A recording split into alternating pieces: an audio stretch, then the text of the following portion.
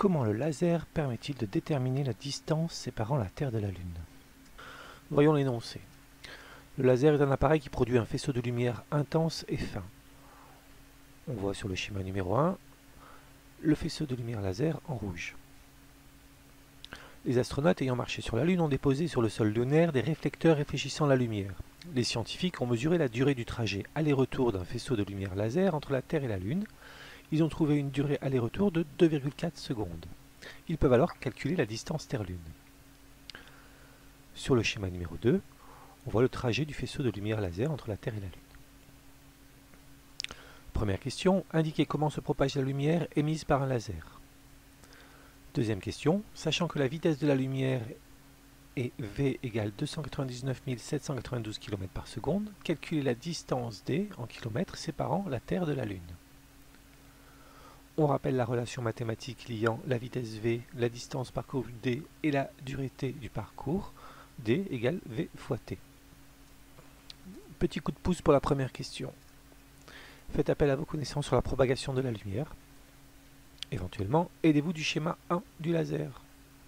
Passons à la solution détaillée de la question 1. On cherche à indiquer comment se propage la lumière émise par un laser. Le schéma représente le faisceau de lumière sous la forme d'une ligne droite.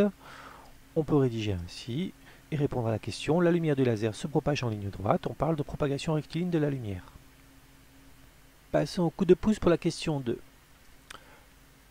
La distance Terre-Lune est égale à la distance parcourue par la lumière du laser en un aller simple. Cependant, la mesure qui est donnée dans l'énoncé correspond à un aller-retour. Quelle est donc la durée d'un aller simple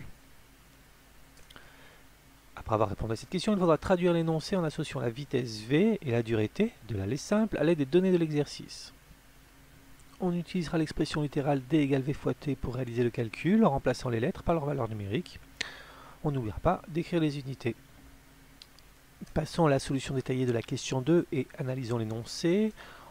On nous demande de calculer la distance Terre-Lune, on la notera D. On nous donne la durée de l'aller-retour égale 2,4 secondes, il faudra en déduire la durée d'un aller simple. On nous donne la vitesse de la lumière, V égale 299 792 km par seconde. On nous donne également la relation mathématique, D égale V fois T.